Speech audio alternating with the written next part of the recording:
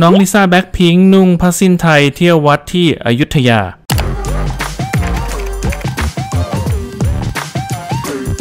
หลังจากที่มาทัวร์คอนเสิร์ตนะครับ ก็ถือโอกาสมาพักผ่อนด้วยเลยสำหรับนักร้องไอดอลสาวสุดฮอตนะครับลิซ่าลลิษามโนบาล หรือน้องลิซ่าแบล็คพิงค์นะครับ ซึ่งก่อนหน้านี้ก็ทำเอาแฟนๆ เป็นปลื้มกับลุคสบายๆ ที่น้องได้ไปเดินปากคลองตลาดกับคุณแม่นะครับ และนุ่งผ้าไทยทำบุญไหว้พระที่อยุธยา